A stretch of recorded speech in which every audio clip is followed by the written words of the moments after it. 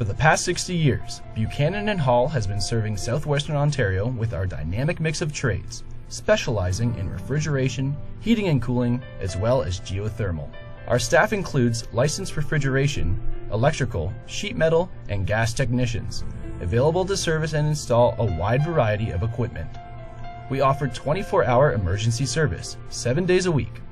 Please call us to receive a free estimate or visit www.buchanan-hall.com.